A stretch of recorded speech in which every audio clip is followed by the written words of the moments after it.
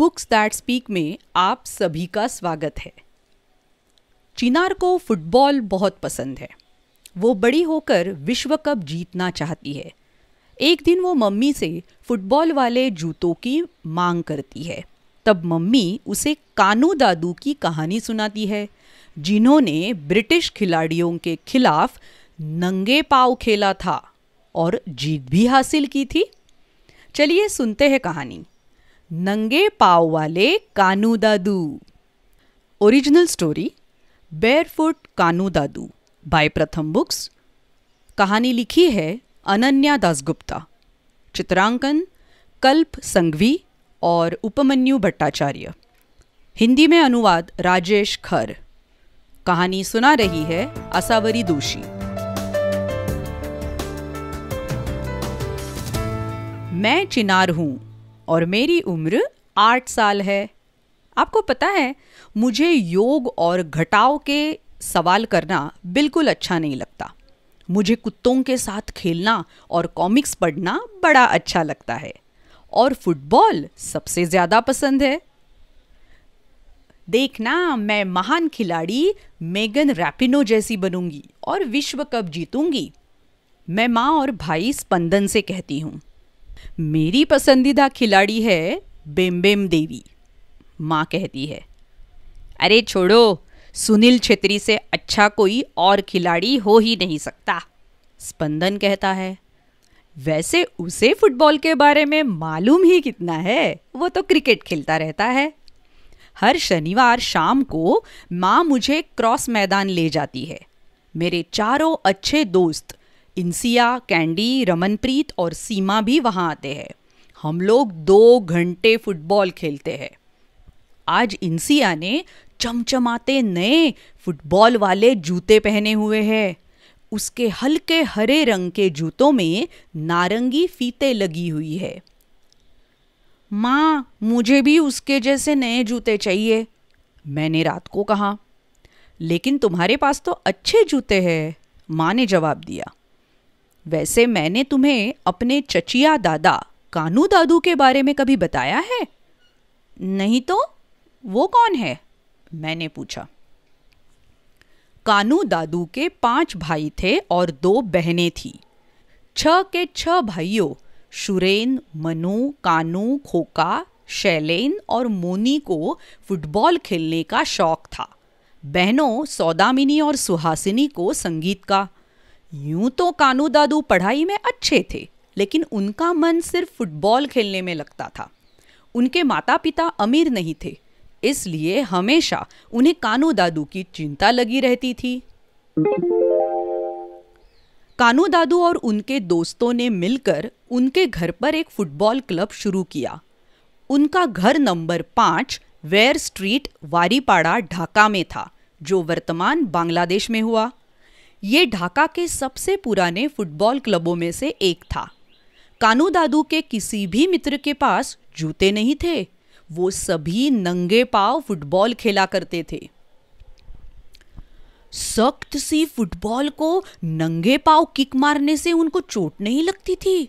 मैंने हैरानी से पूछा।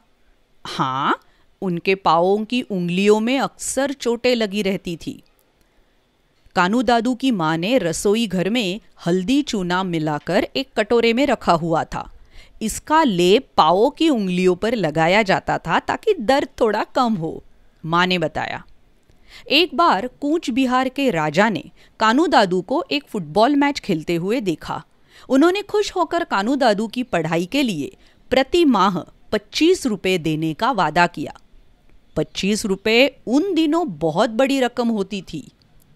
कानू दादू सन 1909 में कलकत्ता पहुँचे। वहाँ की प्रेसिडेंसी कॉलेज में पढ़ने। बाद में वही उन्होंने फुटबॉल के प्रसिद्ध क्लब मोहन बागान के साथ खेलना शुरू किया। मैं मोहन बागान जानती हूँ। वो लोग मरून और हरे रंग की जर्सी पहनते हैं। मैं बोल पड़ती हूँ। कानू दादू ने कई वर्षों तक मोहन बागान के लिए खेला। वो नंगे पाव ही खेलते रहे। सन 1911 की बात है। देश पर ब्रिटिश हुकूमत थी। तब तक आईएफए यानी कि भारतीय फुटबॉल संघ की वैजयंती यानी शील्ड केवल ब्रिटिश सेना की फुटबॉल टीमों के लिए ही होती थी। कानू दादू और मोहन बागान क्लब के उनके सह खिलाड़ियों के कारण ये हमेशा के लिए बदलने वाला था। उन्होंने ईस्ट यॉर्कशायर रेजिमेंट टीम के विरुद्ध मशहूर आईएफए शील्ड मुकाबले का फाइनल मैच खेला। ब्रिटिश टीम को भारतीय टीम के 11 खिलाड़ियों ने, जिनमें से 10 नंगे पाव खेल रहे थे, दो एक से उस कड़े मुकाबले में हरा दिया। रेवरेंड सुधीर चैटर्जी, जो कि एक पादरी और शिक्षक थे, मोहन बागान टीम के एकमात्र खिलाड़ी थे, जिनके पास जूते थे। कानू दादू उस समय केवल 21 वर्ष के थे। वो सभी बेहद खुश हुए होंगे, है ना? मैंने कहा, और क्या? पूरा स्टेडियम तालियों और खुशी के शोर से गूंज उठा था। लगभग अस्सी हज़ार लोग रहे होंगे जो बेतहाशा तालियाँ बजा रहे थे। लोगों ने छाते, पेन, छड़िया, टोपिया और चटाइया उछाल उछाल कर खुशी का प्रदर्शन किया था। माँ ने मुझे बताया इस प्रसिद्ध जीत के बाद कानू दादू को सब लोगों का बहुत स्नेह मिला। बस के कंडक्टर उनसे किराया नहीं लेते और एक मिठाई वाला उन्हें मिठाई मुफ़्त में देता। एक बड़ी साइकिल निर्माता सैन रैली ने उन्हें एक साइकिल भेंट में दी। मैं तो उन्हें एक अच्छी जोड़ी फुटबॉल वाले जूते देती। मैंने खुश होकर माँ से कहा फिर तो उनके पास अच्छे जूते आ गए थे, लेकिन कानू दादू को नंगे पाव खेलना ही अच्छा लगता था।